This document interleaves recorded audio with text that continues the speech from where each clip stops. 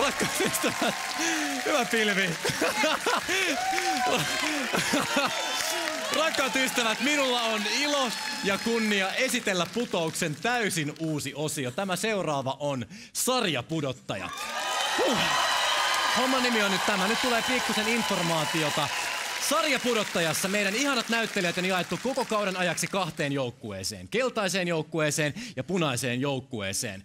Molemmissa joukkueissa on kolme jäsentä, keltaisessa on sen lisäksi vielä Pilvi Hämäläinen. No niin, joukkueet valmistavat joka viikko oman TV-sarjan jakson, josta katsojat pääsevät valitsemaan, että kumpaa sarjaa he haluavat katsoa. Kyllä, Hybridi TVn omistajat päättävät siis tänään, että mitä telkasta tulee. Toinen joukkue pääsee esiintymään ja toista sketsiä ohjelmassa ei nähdä. Mennään katsomaan, että mitä täällä ollaan oikein valmisteltu. Punainen joukkue. Yes. Millä TV-sarjalla te olette lähtenyt nyt päihittämään tätä keltaista joukkuetta? Kuule, jos meitä äänestää, niin saa, näyttää, saa nähdä monella tapaa veren pysäyttävän poliisisarjan. Poliisisarja on siis Kyllä. teidän genre. Onko teillä ollut jotain erityisiä sarjoja, mitkä on inspiroinut teitä? Silta.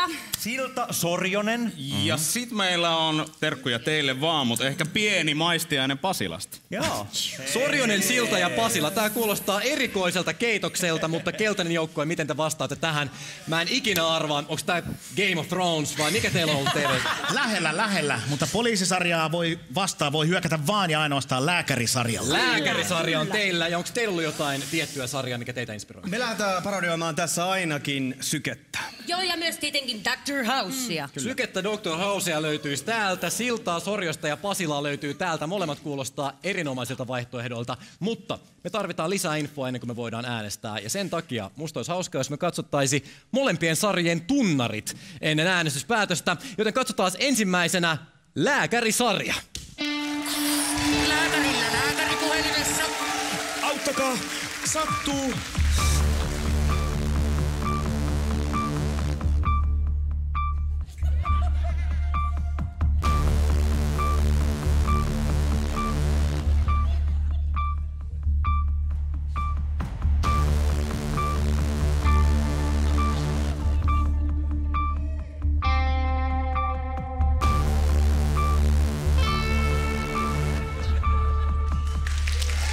Sattuu edelleen.